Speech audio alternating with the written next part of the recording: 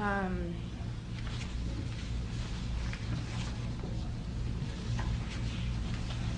I'm Christy Nicola, born July of 1962, rendering me 32 years of age. I was a subject in radiation as well as mind control and drug experiments performed by a man I knew as Dr. Green.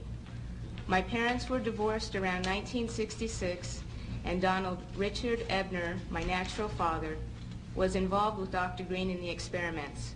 I was a subject from 1966 to 1976. Dr. Green performed radiation experiments on me in 1970, focusing on my neck, throat, and chest, 1972 focusing on my chest, and my uterus in 1975. Each time I became dizzy, nauseous, and threw up. All these experiments were performed on me in conjunction with mind control techniques and drugs in Tucson, Arizona. Dr. Green was using me mostly as a mind control subject from 1966 to 1973. His objective was to gain control of my mind and train me to be a spy assassin. The first significant memory took place at Kansas City University in 1966. Don Ebner took me there by plane when my mom was out of town. I was in what looked like a laboratory and there seemed to be other children. I was strapped down, naked, spread eagle, on a table, on my back. Dr. Green had electrodes on my body, including my head. He used what looked like an overhead projector and repeatedly said he was burning different images into my brain while a red light flashed aimed at my forehead. In between each sequence, he used electric shock on my body and told me to go deeper and deeper, deeper while repeating each image would go deeper into my brain and I would do whatever he told me to do. I felt drugged because he had given me a shot before he started the procedure. When it was over, he gave me another shot. The next thing I remember, I was with my grandparents again in Tucson, Arizona. I was four years old. You can see from this experiment that Dr. Green used trauma, drugs, post-hypnotic suggestion, and more trauma in an effort to gain total control of my mind. He used me in radiation experiments both for the purposes of determining the effects of radiation on various parts of my body and to terrorize me as an additional trauma in the mind control experiments. The rest of the experiments took place in Tucson, Arizona, out in the desert. I was taught how to pick locks, be secretive, use my photographic memory, and a technique to withhold information by repeating numbers to myself. Dr. Green moved on to wanting me to kill dolls that looked like real children. I stabbed a doll with a spear once after being severely traumatized, but the next time I refused. He used many pain induction techniques, but as I got older, I resisted more and more. He often tied me down in a cage, which was near his office. Between 1972 and 1976, he and his assistants were sometimes careless and left the cage unlocked. Whenever physically possible, I snuck into his office and found files with reports and memos addressed to CIA and military personnel. Included in these files were project, subproject, subject, and experiment names with some code numbers for radiation and mind control experiments, which I have submitted in your written documentation. I was caught twice, and Dr. Green ruthlessly used electric shock, drugs, spun me on a table, put shots in my stomach, in my back, dislocated my joints, and hypnotic techniques to make me feel crazy and suicidal.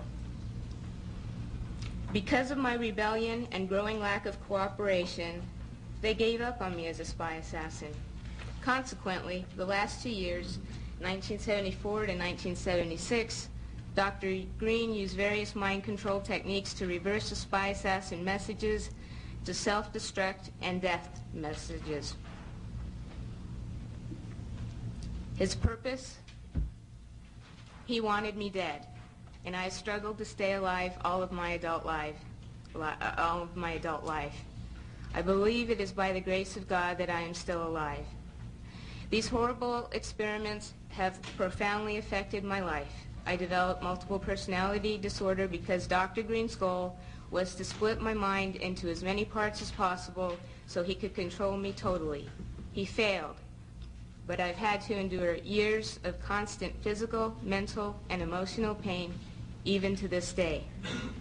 I've been in therapy consistently for 12 years, and it wasn't until I found my current therapist two and a half years ago who had knowledge of the mind control experiments that I've finally been able to make real progress and begin to heal. In closing, I ask that you keep in mind that the memories I've described are but a glimpse of the countless others that took place over the 10 years between 1966 and 1976. That they weren't just radiation, but mind control and drug experiments as well. I have included more detailed information of what I remember in your written documentation. Please help us by recommending an investigation and making the information available so that therapists and other mental health professionals can help more people like myself. I know I can get better. I am getting better. And I know others can too, with the proper help. Please help us in an effort to prevent these heinous acts from continuing in the future. Thank you very much.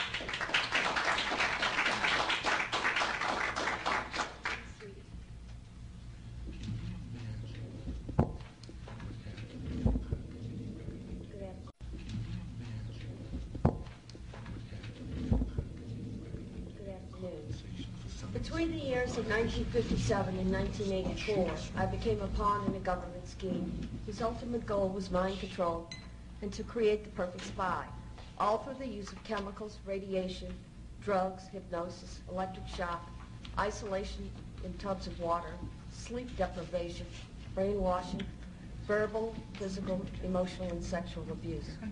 I was exploited unwittingly for nearly three decades of my life, and the only explanations given to me were that, quote, the end justifies the means, and, quote, I was serving my country in their bold effort to fight communism. I can only summarize my circumstances by saying they took an already abused seven-year-old child and compounded my suffering beyond belief. The saddest part is, I know for a fact that I was not alone. There were countless other children in my same situation, and there was no one to help us until now. I've already submitted as much information as possible, including conversations uh, overheard of the people, agencies responsible. I'm able to report all this to you in such detail because of my photographic memory and the arrogance of the doctors, the arrogance of the people involved. They were certain they would always control my mind. Although the process of recalling these atrocities is not an easy one, nor is it without some danger to myself and my family, I feel the risk is worth taking. Dr. L. Wilson Green, who claimed to have received $50 million from the Edgewood Chemical and Radiology Laboratory as part of the TSD, or Technical Science Division of the CIA, once described to Dr. Charles Brown that, quote, children were used as subjects because they were more fun to work with and cheaper, too. They needed lower profile subjects than soldiers or government people. So only young, willing females would do. Besides, he said, I like scaring them.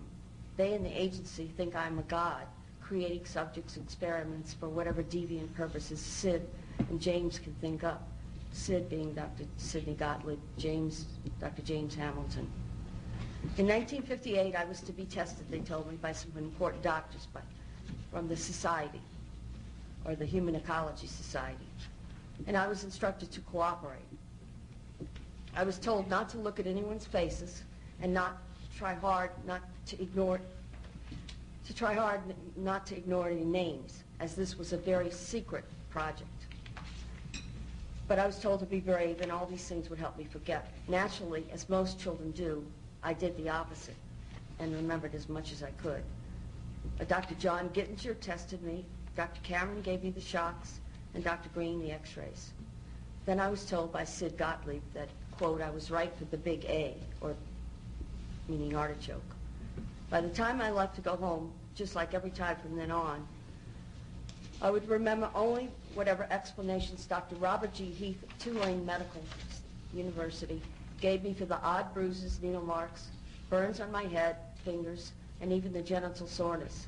I had no reason to believe otherwise. They had already begun to control my mind.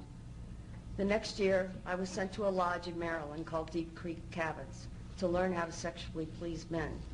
I was taught how to coerce them into talking about themselves, and it was, doc, it was uh, Richard Helms, who was deputy Di- director of the CIA, Dr. Gottlieb, uh, Captain George White, Morse Allen, who all planned on filming as many high government agency officials and heads of academic institutions and foundations as possible, so that later when the fund, funding for mind control and radiation started to dwindle, projects would continue. I was used to entrap many unwitting men, including themselves, all with the use of a hidden camera. I was only nine years old when this sexual humiliation began. I overheard conversations about a part of the agency called ORD, which I found out was Office of Research and Development. It was run by Dr. Green, Dr. Stephen Aldrich, Martin Orne, and Morse Allen.